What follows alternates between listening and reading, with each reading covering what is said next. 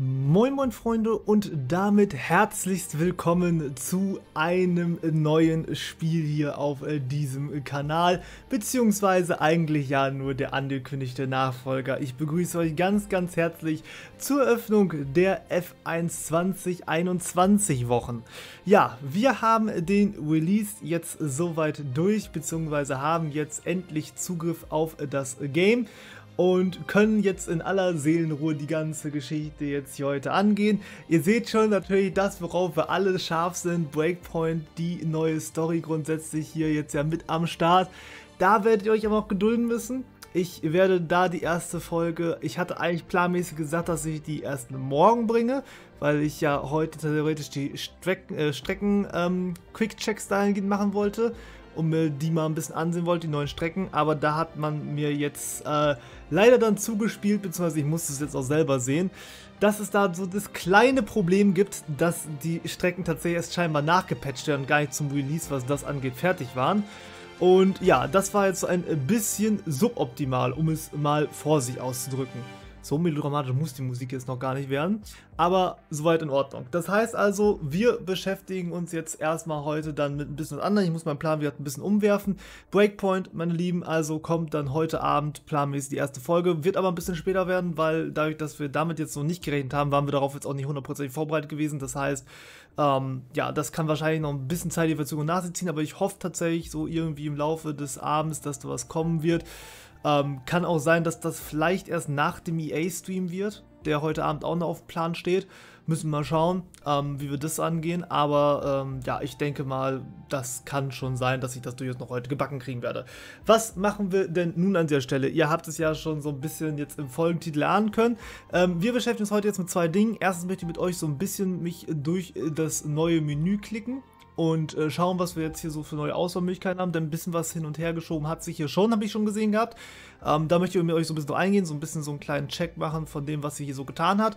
Plus dazu dann aber auch, Freunde, natürlich ganz klar das erste Rennen, was ich mir mit euch ansehen möchte. Das heißt also die beiden Dinge, die jetzt so ein bisschen auf dem Zettel stehen.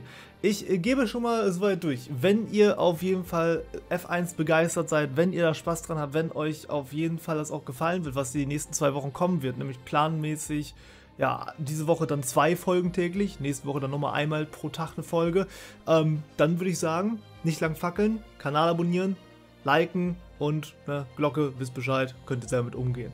Guti, dann würde ich sagen, haben wir soweit jetzt erstmal das grobe Rumherum geklärt und können jetzt tatsächlich so ein bisschen einsteigen in die ganze Geschichte. Ja, Startmenü, wie gesagt, Breakpoint Story Modus. Verschieben wir alles noch so ein bisschen, da wissen wir alles, was kommt. Dann habe ich schon gesehen, dass sie im Kalender tatsächlich ein bisschen was getan hat.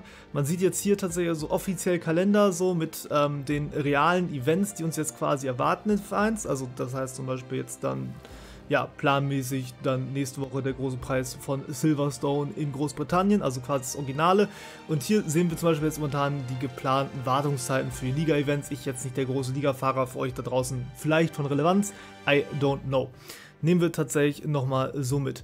Dann, ja, in Sachen Karriere hat sich jetzt tatsächlich auch was getan, denn wir haben jetzt ja natürlich die Möglichkeit, das ganze Ding ähm, ja, etwas gescheiter zu spielen als sonst. Normalerweise immer Einzelspieler, ganz klar Fahrkarriere, My-Team-Karriere, soweit alles geläufig. Aber es gibt auch die Möglichkeit, eine Zweispieler-Karriere aufzuziehen. Wir gehen mal ganz kurz eben drauf.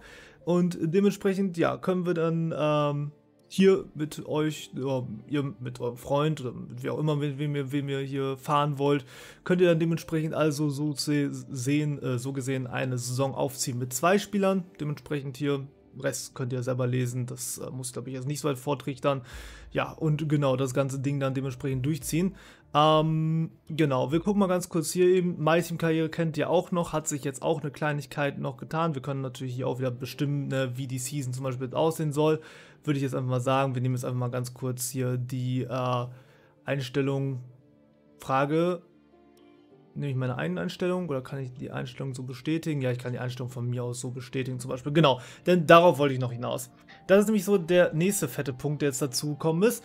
Ähm, bei äh, den äh, My Team Karriere, ähm, ihr seht hier schon, also Freunde, es gibt die My Team Icons. Ähm, Icons vielleicht euch ja schon bekannt aus dem EA-Genre, Jargon äh, ist das ja so ein bisschen hier von FIFA her, nämlich quasi Helden- und äh, Legendenfahrer, die man tatsächlich jetzt hier in äh, der My Team Karriere verwenden kann, wenn ihr drauf Bock habt. Also ihr seht schon Senna, Schumacher und ja, oder auch Rosberg etc. Ähm, die könnt ihr dann dementsprechend alle wunderbar dann quasi in eure Karriere mit reinfügen, aka dann diese Fahrer dann für euch fahren lassen, haben natürlich dann auch ein gewisses Rating. Ich habe schon, glaube ich, so ein bisschen gesehen gehabt, in die 90er-Wertung äh, geht das schon hinein, aber ich glaube, ähm, keiner der Fahrer ist besser als eine 94. Das heißt, sowohl Schumacher, ich glaube, Senna war es noch, Hamilton und Verstappen, das sind, glaube ich, die bestgeratedsten Fahrer, ähm, allesamt mit einer 94 unterwegs. Und ähm, ja, die könnt ihr, wie gesagt, in eure Karriere einbauen gehen. Werdet ihr natürlich wahrscheinlich dann in eurer My Team Karriere nicht direkt verwenden können. Das wird wahrscheinlich ein bisschen dauern, bis ihr dann, äh, dann auch die Anforderungen dafür erfüllt. Ne? Plus natürlich finanziell das ganze gutes Geld, könnt ihr euch ja vorstellen. Aber ja, das, wie gesagt, also ist äh, da mit bei. Genau, also damit ihr das auch schon mal auf dem Schirm habt, wie gesagt, das ist da jetzt mitunter möglich. Ansonsten natürlich noch die ganz normale Fahrkarriere, das kennen wir ja soweit schon. Ja, ansonsten der Mehrspielermodus, ihr äh, seht es noch, ist auch relativ betrachtet doch recht gleich geblieben.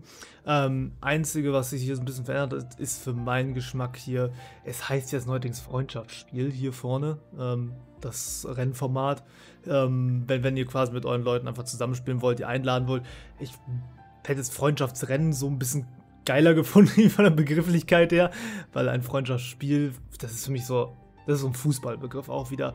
Man merkt, die A war hier schon so ein bisschen am Werk gewesen. Ja gut, dann haben wir den guten alten E-Sport-Sektor, da wie gesagt, aber geht es auch erst, ja, äh, so ein bisschen Richtung Oktober, Winter los. Also von daher, ähm, für die ganz Interessierten euch draußen könnt ihr das gerne mal ansehen. So professionell bin ich tatsächlich nicht auf dem Wege.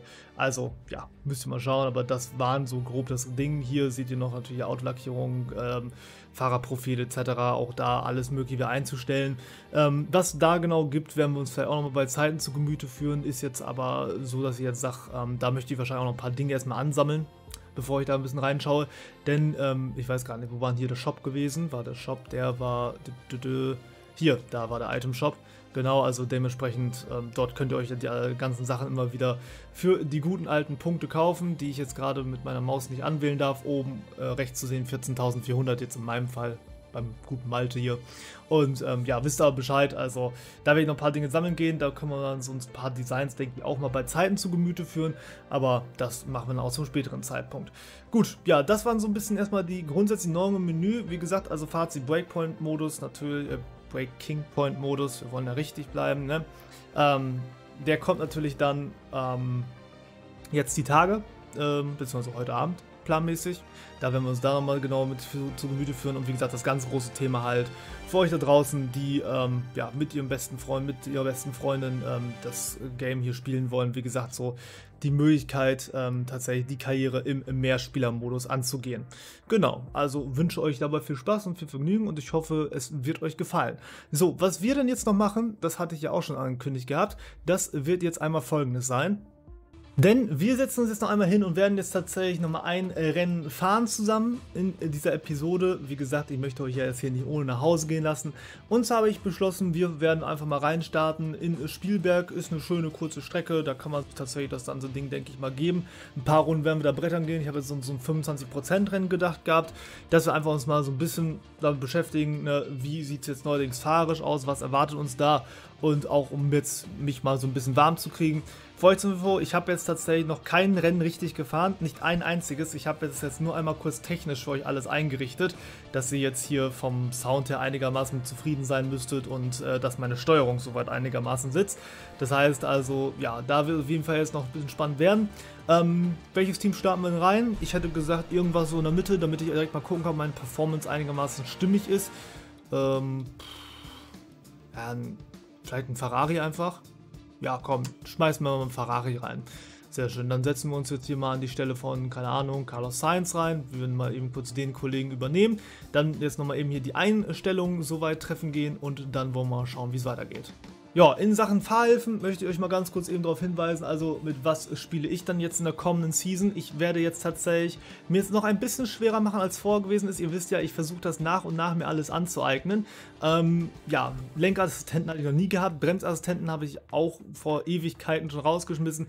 Letzte große Neuerung war ja gewesen zur letzten Saison, dass ich die Traktionskontrolle rausgeschmissen habe. Ähm, ja, dementsprechend jetzt also völlig ohne Traktionskontrolle fahre, das heißt also durchdrehende Reifen incoming. Ähm, und jetzt habe ich tatsächlich noch den nächsten Step oben drauf gesetzt für euch da draußen. Ich werde als nächstes das ABS deaktivieren, das heißt jetzt also dementsprechend äh, Anti-Blockiersystem, das heißt, wenn ich jetzt voll und ganz auf die Bremse trete und äh, aus irgendeiner Panic Reaction das Ding betätige, dann werden die Reifen blockieren und dann habe ich richtig Spaß. Also dementsprechend das Ding jetzt als nächstes aus. Heißt, die einzigen Assistenten, mit denen ich jetzt noch fahre, ist die Ideallinie in Kurven. Das Getriebe, das ich immer auf Automatik habe. Das hat aber auch ein paar aufnahmetechnische Gründe, weil ich finde das nicht so geil, wenn man die ganze Zeit das Rumgeschalte im Hintergrund hat. Und äh, den Boxenstopp-Assistenten, weil ich einfach ganz gern auch mal irgendwo zwei Sekunden innerhalb eines Rennens mal eben Pause habe und mich dann nicht immer auf jeden Mist konzentrieren möchte. Genau, also das sind jetzt so noch die letzten Assistenten, die ich habe. Mal gucken, vielleicht dann in F1 2022, äh, dass dann eventuell noch die Ideallinie rausfliegt. Dann denke ich, hätte ich auch alles so, wie ich es ganz gerne hätte. Ähm, dass ich das dann vielleicht auch noch gebacken kriege. Aber jetzt, wie gesagt, erstmal das ganze Ding, also so wie jetzt angedeutet. ERS-DS-Hilfe hatte ich ja auch schon vor Ewigkeit mal rausgekracht gehabt. Also, äh, beziehungsweise ERS-Hilfe, DS-Hilfe hatte ich noch nie gehabt. Ähm, ja, wisst Bescheid. Also, das ist auch als alles Selfmade hier. Also ein Stückchen schwieriger. So, für die Wochenendstruktur habe ich mir jetzt gedacht gehabt, starten wir rein mit einem kleinen Blitz-Qualifying. Also eine Runde, die wir jetzt hier drehen werden, um uns mal hier positionsmäßig festzulegen. Ähm, Session-Länge habe ich jetzt hier mal wieder auf 25% gestellt. Drücken wir uns halt auch nochmal eben rein, wollen mal gucken, ähm, ja, was denn jetzt passiert damit und ähm, ja, wie wir damit so zurechtkommen. Wie gesagt, ist jetzt dann nicht das Riesending, aber einfach so ein bisschen um reinzukommen, ist das eigentlich ganz in Ordnung. Ähm, Schwierigkeitsstufenmäßig ist das ja auch so ein kleines Experiment, auch für den Break, äh, Breaking Point Modus. Ähm, ich äh, starte jetzt hier einfach mit einer 90 rein. Das ist jetzt ein bisschen weniger als das, was ich ähm, zuletzt in F1 2020 gespielt habe. Aber ich denke, einen kleinen Downer, weil das Spiel einfach auch so ein bisschen neu ist, ähm, ist, denke ich, ganz in Ordnung. Also ich denke, das kann man dann nachvollziehen. Müssen wir mal schauen, ob ich damit jetzt so ungefähr arbeiten kann. Wenn ich mit dem Ferrari hier ein ordentliches Ergebnis erzielen kann, dann wird das, denke ich, passen.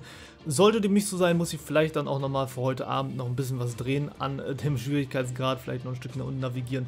Weiß ich noch nicht. Wie gesagt, mein Ziel ist auch dort wieder mit euch dann Saison für Saison den Schwierigkeitsgrad auch wieder anzupassen und zu steigern, um zu gucken, dass man da auch dann na, ein bisschen mit der Zeit geht und wenn man sich ja mehr, mehr ans Spiel gewöhnt, dass man ja auch dort sich den Schwierigkeitsgrad ein wenig nach oben drehen geht. Gut, dann würde ich sagen, haben wir soweit alles geklärt. Lasst uns reinstarten ins Rennen. So, dann wollen wir mal reingucken, wie das jetzt also hier so läuft. Also erstmal, boah, erste Kurve. Ja gut, Hamilton zieht das schon weg. Soll er machen. Ah, verdammte Axt, der ist hier gewesen. Ja, supi, hab's schon gut hingelegt. Ja, man merkt schon, also erstmal reinkommen ist hier angesagt. Dann wollen wir mal schauen, was hier so geht. Also erstmal schön den Ghost hier vor uns.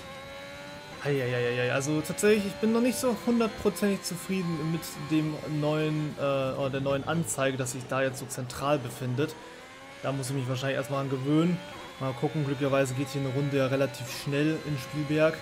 Aber es reicht tatsächlich auch schon für Hamilton, hoppala, um hier schon ein bisschen Vorsprung rauszuarbeiten. Ja, doch, also es ist ein bisschen auch von der Flexibilität des Wagens, wie ich damit um die Kurven komme und alles. Doch, das ist tatsächlich schon ein bisschen neu, die ganze Geschichte. Wollen wir mal schauen jetzt, wofür das reicht. Ich denke mal, ein tolles Ergebnis wird das jetzt hier nicht werden. Zumal ich jetzt tatsächlich auch noch ein bisschen wegen... Boah, Hilfe, Malte. Wegen meinem ABS dann noch ein bisschen struggle. Also das war tatsächlich gar nichts. Ja, Startplatz 20. Okay, alles klar. Ja, ich würde mal meinen, auf jeden Fall, da könnte man dann demnächst noch in der Schwierigkeitsgrad wahrscheinlich ein bisschen was drehen. Wobei die Runde jetzt halt auch wirklich von meiner Seite aus schon nicht gut war. Ja, also ja, das Feeling so ein bisschen anders schon in den Kurven. Ich glaube, ich brauche da schon mal ein bisschen andere Eintrittsgeschwindigkeit, als ich das vorher gewohnt war. Ähm, das Handling ist einfach ein bisschen unterschiedlich. Mal gucken, ob ich das noch bei Zeiten rauskriege.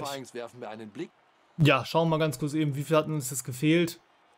Es war zumindest nur eine Zehntel bis äh, Latifi, aber äh, schon so zwei Sekunden bis Leclerc. Ja, doch, da fehlt jetzt tatsächlich noch ein ganzes Stück. Okay, wenn ich wahrscheinlich eine gute Runde hingelegt hätte, sind es wahrscheinlich immer auf fünf Zehntel. Also, mh, hm, die 90 ist, glaube ich, noch ein bisschen critical. Aber jetzt können wir das Feldwesen von hinten aufräumen. Von daher würde ich sagen, machen wir uns jetzt mal ran an den Speck. Schauen wir mal, was wir damit noch gerissen kriegen. Das Dröhnen der Motoren zwischen den Bergen der Steiermark. Heute startet der große Preis von Österreich. Es sind nur noch wenige Minuten bis zum Beginn des Rennens. So sieht die Startaufstellung aus. Dank einer unglaublichen Runde im gestrigen Qualifying startet Lewis Hamilton von der Pole Position. Und Max Verstappen steht daneben. Und in der restlichen Startaufstellung von heute haben wir Bottas, Perez, Lando Norris und Ricardo. Vettel, Leclerc, Stroll und Fernando Alonso.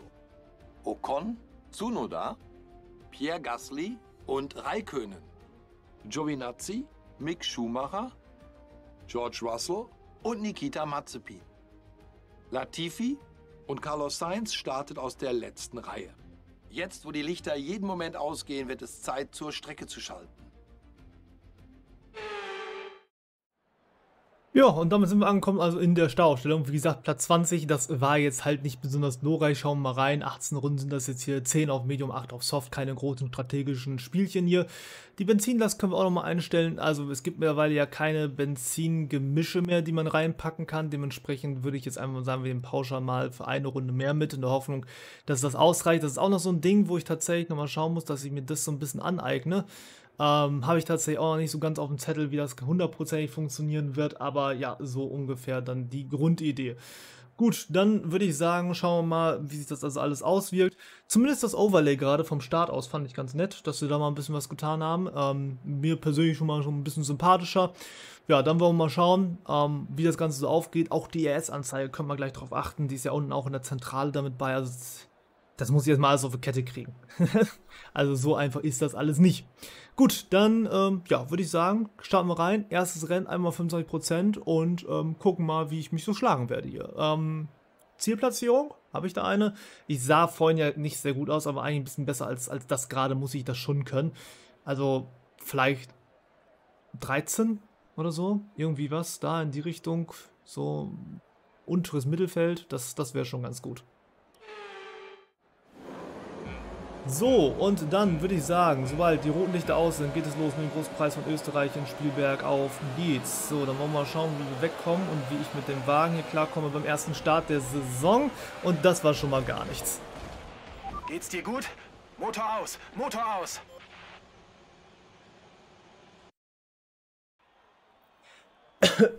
ja, das hat keiner gesehen. Dementsprechend also Zeit für Start Nummer 2.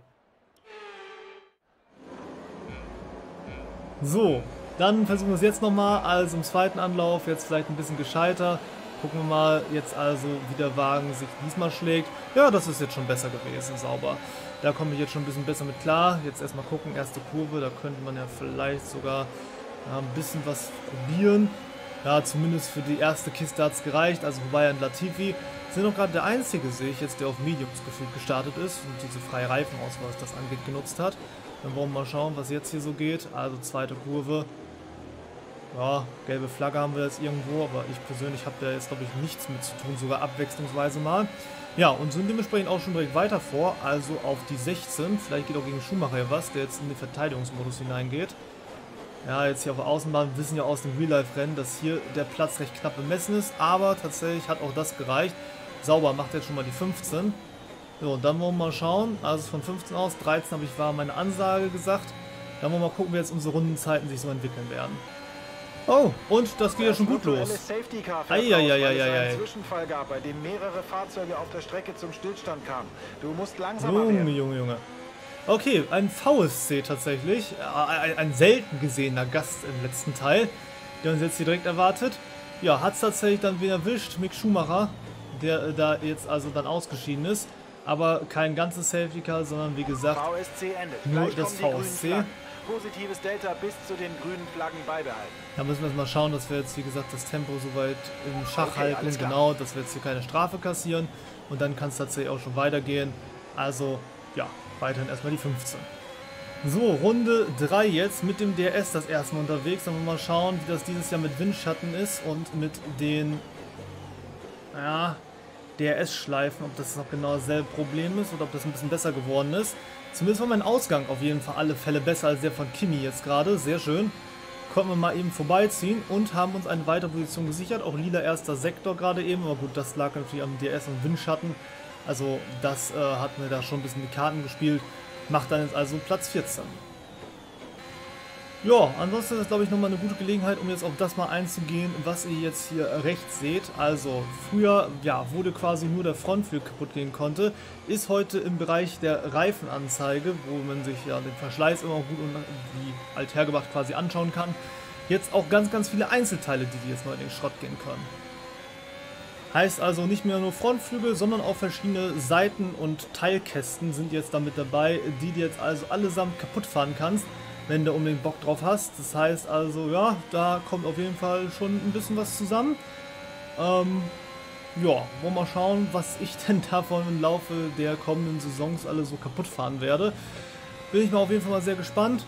Hm, wer weiß, vielleicht kann man sich ja noch mal irgendwann auch bei Zeit mal hinsetzen und tatsächlich mal das Auto gegen die Wand krachen lassen, mal gucken, was sich da so formmäßig tut. Aber erstmal wollen wir mal gucken, ob wir in diesem Rennen hier nochmal aufs sportlich gerissen kriegen. Ähm, ja, haben jetzt momentan wie viele Sekunden? Zwei Sekunden jetzt bis Ocon vorne. Hinter uns drei können werde ich wegen dem schäbigen DS nicht so recht los.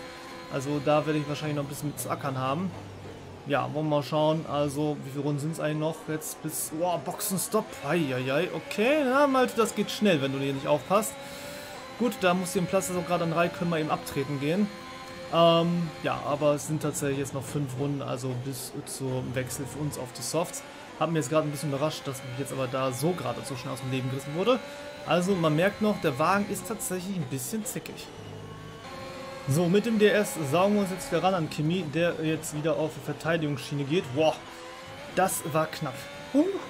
Also manchmal ist die Kiste boah, noch ein bisschen schwierig einzufangen. Also, uh, uh, uh, da auch gerade wieder, also die Bremsen oder das neue Dings, dass ich ohne ABS fahre, das hat halt auch zur Folge manchmal, dass der ein bisschen mehr direkter bremst, als ich es eigentlich erwarte. Und ähm, dafür sorgt, dass ich dann tatsächlich ja so ein bisschen mit dem Heck Probleme kriege, dass mir das dann fast droht, ein bisschen auszubrechen manchmal. Also dementsprechend, ja, muss man ein bisschen aufpassen, was das angeht ja, man lernt halt nicht aus. Ne? Also sind immer wieder neue Sachen jetzt hier schon direkt, auch gerade in den ersten Folgen werde ich es öfter bei mir sehen, dass ich da mal ein bisschen was lernen muss. Naja, gut, okay, wie viel sind es jetzt bis Ocon? Das war jetzt der vorhin unser Gegner gewesen. Oh, jetzt sind es tatsächlich schon fast 4 Sekunden. So, wir haben es jetzt mittlerweile Runde 9. Die ersten Boxenstopper sind alle drin. Ich glaube, die werden wir sogar auch alle noch kassieren. Also selbst der Red Bull oder so haben jetzt nicht, nicht eine ganze Runde Vorsprung auf uns erfahren, eine ganze Runde, einen ganzen Boxenstopp. Also tatsächlich haben wir die vorerst erstmal auch hinter uns. Nach vorne, ja, so richtig rangekommen bin ich tatsächlich jetzt noch nicht. Hoppala, aufpassen, Malte. Ja, du darfst hier echt noch nicht so viel quatschen. Das geht noch nicht. Dafür bin ich noch nicht talentiert genug hier. Ja, also ihr sehen könnt, so richtig rankommen bin ich noch nicht. Wir sind jetzt bei so ah, 3,7. Das war jetzt halt noch nicht der Weltensprung. Mal gucken, ob wir gleich beim Boxenstopp da vielleicht ein bisschen was gut machen können. Schön wäre es zumindest. Vorerst dürfen wir, würde ich mal sagen, erstmal einen Red Bull weichen, ähm, der sich aber bitte noch eben bis zur Startziel gerade gedulden muss. Dann kann äh, der Kollege hier vorbeiziehen. Bis dahin muss er sich nochmal eben kurz ja, geduldig zeigen. So, jetzt darf er eigentlich, der, weil die nächsten Boxenstopper jetzt hier am Start sind. Das hat sich geöffnet. Ich werde das auch gar nicht groß verteidigen dahingehend. Das ist schon okay so. Gucken wir lieber, dass wir oh, einen gescheiten Ausgang kriegen, wollte ich gerade sagen. Wenn der Körper da nicht gewesen wäre, hätte ich ihn auch bekommen. So, aber dementsprechend nicht. Und, oh, Oh. Oh. Das gibt tatsächlich nochmal ein Duell. Ein sehr spitzfindiges, um genau zu sein. Aber eins, wo ich ihn gar nicht mal so sehr ausdränge. Das war sogar fast noch in Ordnung dafür. Hat aber auch ganz schön die Bahn dicht gemacht, oder? Meint das nur. Tja, ja, da waren es die feuchten Ferrari-Träume. Ne? Hallo, ich wollte da Richtung Box. Junge, Junge, Junge, Junge. Okay, das Ding war nicht ohne. Da kann ich gleich mal ein Schadensmodell reingucken, ob es jetzt hier da was gegeben hat für die ganze Geschichte. Nee, glücklicherweise nicht. Aber, huh, das äh, war schon dünn. So, gib mir jetzt mal einen Boxenstopp. Ich merke auf jeden Fall schon, 2,5 ist okay. Kann ich mit leben. Ähm, ich sollte auf jeden Fall nicht so viel Benzin mitnehmen. Also da bin ich tatsächlich ein sparsamer Fahrer. Das, das kriegt anscheinend wohl ganz gut hin. Dann geht es jetzt also rauf Piste. Wir sind wieder Platz 14. Jetzt also mit der großen Preisfrage nur, nachdem wir das DS sogar noch behalten dürfen, yay, wo Ocon ist. Und Ocon ist tatsächlich mittlerweile unter die 3 Sekunden Marke gerutscht. Ja, aber hallo, könnte da vielleicht dann jetzt doch noch was gehen? Oh, wir haben wieder eine gelbe Flagge vor uns. Ja, tatsächlich, das scheint Aston Martin zu sein. Der jetzt hier uns den Abgang macht. Jawohl, da vorne rollt er aus. Oder nee, was heißt rollt aus? Fährt sogar in die Boxengasse hinein. Gut, okay, hat sie anscheinend noch so ein bisschen gerettet. Oder so ähnlich. Vielleicht hat es auch den Reifen zerschlissen, wenn ich da jetzt überlege, wenn er sich da noch reinrettet. Ja, kann vielleicht auch mal sein, dass es den da erwischt hat. Auf die Distanz würde es mich jetzt zwar grundsätzlich wundern, aber naja. Gut, dementsprechend also wir einen Platz dann noch gewonnen, sind jetzt auf unsere ominösen 13, die ich haben wollte, positionsmäßig. Fällt mir gerade ein. Warum ist eigentlich links die Runde und rechts die Position? Ist ja auch völlig Banane. Muss mal gucken, ob ich das nachher umstellen kann. Ja, so ist das schon besser. Jetzt erkenne ich auch mal wieder, was wo Phase ist. Das gefällt mir schon eher. Und wer auch immer halt auch wirklich auf diese Idee kam, die Anzeigen zu tauschen, ne? Keine Ahnung. Richtiges Verbrechen. Ja, apropos Verbrechen. Welche Verbrecher kommen dann auf die Strecke zurück hier in Runde 14? Es ist Sonoda auf harten Reifen. Aha! Habe ich doch also noch ein Bauernopfer gefunden. Mit Ocon komme ich ja tatsächlich nicht so mit, aber mit zwei Sätzen besserer Reifen, das sollte tatsächlich doch drin sein innerhalb der nächsten paar Runden. So, Startziel gerade, Runde 15. Mal gucken, Vielleicht kann ich jetzt noch einmal die Bremsen ausspielen, wollte ich gerade sagen. ähm, okay, nee, das war tatsächlich wieder mal ein glatter Verbremser. Ja, siehe da, wir sind trotzdem vorbei. Wir mussten die Position nicht zurückgeben, keine Verwarnung, aber so richtig faires Manöver war das jetzt tatsächlich noch nicht. Ja, so Dinge, die wollen erstmal tatsächlich gut sein, um einfach auch zu wissen, wie viel ich quasi durch die Bremsen jetzt hier gewinnen kann und welche Aktionen, wie gerade ich zum Beispiel besser lassen sollte. Aber gut, okay, geschenkten Gaul schauen wir jetzt erstmal nicht ins Maul, ist jetzt erstmal die Position, ist Platz 12. Ja, und dementsprechend jetzt also doch durchaus im Erwartungsfenster drinne. Heißt, wenn jetzt Leclerc vielleicht kein Überrennen hat, der sowieso eigentlich ja kein schlechter Fahrer ist, meine Startplatzierung war halt auch ziemlich wumpe, äh, ziemlich am Mist. Hm. Bin wir halt nur überlegen, vielleicht gehe ich ein oder zwei Punkte runter, wenn es hochkommt aber mehr nicht. Also ich bin schon sehr nah dran tatsächlich mit meinen 90 jetzt hier an dem, was ich momentan schon jetzt außer Kalten imstande bin zu leisten. Gut, dann würde ich sagen, versuchen wir jetzt noch in den letzten paar Runden jetzt an Ocon ranzukommen und ja, dann Möglichkeit die Position an Sonada, äh, an Sonada, klar, wer kennt nicht Sonada, an Sonoda nicht mehr abzugeben. Ja, also viel mit rausholen war es tatsächlich nicht mehr. Wir haben es zumindest geschafft, Sonoda mal gut zu distanzieren auf über drei Sekunden. Also da kommt tatsächlich nichts mehr von dem. Da braucht man sich keine Gedanken mehr drum machen. Aber es ist auch nicht so, als ob, wie gesagt, ich da vorne jetzt rankommen könnte. Also Ocon und Gasly sind tatsächlich halt ein Stückchen schneller als wir. Ja, doch, das ist, denke ich, so unterm Strich ein ganz gutes Zeichen. Ich denke mal, wir werden dann heute Abend planmäßig vielleicht mit einer 88 am Start gehen. Das soll kein Zeichen sein, bevor jemand auf den falschen Trichter kommt. Nee, aber so ja, 88, 89 ist schon okay. Max Verstappen, der war im Red Bull gewinnt äh, derweil die erste Etappe jetzt hier quasi, die wir in unserer hoffentlich doch langen F1 21er Karriere setzen werden. Ja, die waren ganz gut hier jetzt. Ja, doch von Anzeigen passt mir das auch ganz schön. Ja, ich konnte auf jeden Fall auch einiges lernen. Fazit ziehen wir gleich. Lasst uns nochmal eben kurz über die Startzielgerade kommen. Ja, und haben damit uns mal unseren Job hier soweit erledigt. Das ist das Ende des Rennens. Wir sehen uns im Park Fermé. Eine beeindruckende Teamleistung hat hier in der Steiermark zum Sieg geführt. Stefan, sag mir, was denkst du, hat den heutigen Sieg möglich gemacht? Es klingt vielleicht etwas vereinfachend, aber ich denke wirklich, dass es vor allem an der Qualität des Autos lag. Die Fähigkeiten des Fahrers sind natürlich wichtig, aber ohne ein solides Team erreicht man nichts. Wenn man diesen idealen Punkt erreicht, an dem man einen exzellenten Fahrer und ein unglaubliches Auto hat, dann erzielt man Resultate, wie wir sie heute erlebt haben.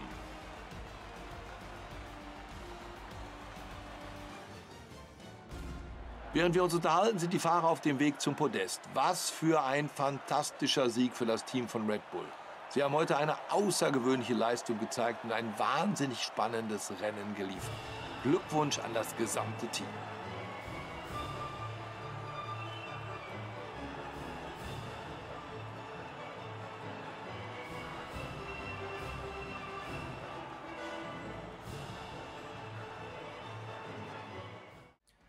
Ja, dann würde ich sagen, lass uns mal kurz zum Fazit ausholen, weil wir jetzt hier Max Verstappen noch rumsitzen haben. Also am Ende jetzt sind wir auf Platz 12 eingegangen. Ähm, ja, pacemäßig ist es so, ähm, jetzt wo das ABS aus ist, muss ich mich auf jeden Fall erstmal daran gewöhnen ein bisschen. Das wird wahrscheinlich auch noch ein paar Rennen dauern, aber dafür habe ich jetzt ja erstmal grundsätzlich Zeit en masse. Wie gesagt, mit der Schwierigkeit muss ich wahrscheinlich noch ein kleines Stückchen runter. Man sieht es auch ganz gut an der Bestzeit, die wir jetzt hier gedreht haben. Eine 1,7 haben wir im Idealfall jetzt hingekriegt. Und das ist halt besser als das, was natürlich jetzt die ganzen schlechten Teams jetzt hier quasi abgerissen haben. Okay, mit Ausnahme von Vettel, aber ich weiß nicht, was bei dem los war. Also, besser als das, was auch die beiden Alphas zum Beispiel auf der Kette gekriegt haben. Aber es war halt auch erheblich schlechter als das, was der Rest jetzt hier gefahren hat. Also ich glaube, der schlechteste war dann jetzt hier noch Gasly gewesen und der war immer noch zwei Zehntel schneller als wir. Ganz zu schweigen von so einem Teamkollegen, der über eine halbe Sekunde schneller ist als wir gewesen. Und wenn das jetzt über eine halbe Sekunde auch war, ja, dann glaube ich schon, wie gesagt, ein kleines Stückchen werde ich damit runter müssen. Ansonsten, Benzinverbrauch habe ich jetzt auch was Tolles dazu gelernt gehabt. Ähm, ja, wie gesagt, also gucken, dass wir auch ein bisschen weniger Benzin mitnehmen. Da können wir fast eigentlich punktgenau planen. Ähm, vielleicht irgendwie plus 0,5 oder so, dass, dass ich da wirklich halt nicht mal mit dem Arsch auf Grundeis gehe, aber eigentlich, eigentlich müsste das aufgehen. Also dementsprechend dadurch, dass jetzt halt diese Gemischgeschichte wegfällt. Gut, für mich auch eine Sache weniger zu managen, ist auch ganz nett, aber ja, da äh, muss ich auf jeden Fall dann auch nochmal ein bisschen was anpassen. Genauso wie ich jetzt auch die Fenster angepasst habe, aber das jetzt also zum Rennende hin ja auch nochmal ganz passend geworden. Nee, also das, wie gesagt, zu meinen ersten Eindrücken. Ihr könnt mal in die Kommentare reinkrachen, wie ihr es bislang so findet, wie ihr auch das Rennen als solches fandet. Wenn ihr irgendwelche Tipps habt für mich noch, immer mal ganz gerne rein damit. Wie gesagt, auch das Überholmanöver gegen Zuhörer, das war jetzt nicht so hundertprozentig korrekt, das weiß ich selber, brauchen wir nicht drüber reden. Ähm, wird alles noch besser werden mit der Zeit, sobald ich dann weiß, wie die Fahrphysik sich so ein bisschen verhält. Aber ansonsten ja, bin ich erstmal grundsätzlich unzufrieden. Es ist halt ein bisschen ein Balanceakt. Also ich habe das Gefühl, ich kann schon grundsätzlich mehr Speed halt in den Kurveneingang mit reinnehmen, als es im letzten Teil gewesen ist. Dafür zickt er in der Kurve ein bisschen mehr, also bei härteren Kurven. Ähm, der Kurvenausgang wiederum, ah, das weiß ich noch nicht. Also da habe ich jetzt alles mögliche festgestellt. Von ich drehe mich fast weg bis hin zu, ich könnte eigentlich noch 15 Meter früher gefühlt Gas geben, als ich es getan habe. Ähm, ja, da muss ich auch mal ein bisschen schauen, alles ein bisschen Gewöhnungssache. Aber erstmal grundsätzlich gefällt mir das Spiel ganz gut. Ich bin ähm, heiß jetzt auf jeden Fall auf heute Abend. Ich hoffe, ihr auch. Und ja, das, wie gesagt, war es jetzt mal von meiner Seite aus. Wie gesagt, wir sehen uns nachher im EA-Stream. Müssen dann nochmal schauen, wie das sich dann jetzt so auftut. Dann nachher mit ähm, dann Breakpoint, ich, Breaking Point. Ich hoffe, dass das Ganze so ein bisschen ähm, ja, noch sich eindeichselt, dass ich das alles jetzt noch passend hinkriege. Ansonsten, wenn das erst nach dem Stream wird, ja, dann ist das halt so, dann müsst ihr halt auch mal mitleben. Aber wir werden da schon eigentlich alles zusammen heute schön auf die Kette kriegen. Guti, dann würde ich sagen, danke fürs dabei sein. Freut euch auf nachher, seid nachher noch im Livestream mit dabei und wir sehen uns denn bis zum, ja, bis zu einem späteren Zeitpunkt. Bis später. Es ist so ungewöhnlich, ich sag euch bis zum nächsten Mal, also, aber Jetzt ist es tatsächlich mal legitim bis später. Ah, gut. Viele neue Dinge jetzt hier. Muss ich mich erstmal alle mit arrangieren. Auf jeden Fall. Dann bis später. Man sieht sich. Und ciao. Hat dir das Video gefallen und würdest du gerne mehr von sehen? Da schwirren dir noch unzählige Projekte im Kopf rum, die wir mal machen sollen? Leider ist das Moment für uns alles noch sehr schwer umzusetzen, da YouTube nur ein Nebenjob für uns ist. Jedoch, was nicht ist, kann sich ja noch ändern und das schon ab einem Euro pro Monat. Das ist jetzt auf den ersten Blick vielleicht nicht viel Geld, aber wenn uns bereits jetzt jeder Abonnent diesen 1 Euro geben würde, könnten wir es bereits hauptberuflich umsetzen. Wenn wir und der Kanal dir also am Herzen liegen, überleg doch vielleicht, ob du nicht auch wie diese Leute ebenso ein Kanalmitglied werden möchtest, damit auch wir unseren Traum von YouTube zu leben bald Realität werden lassen können.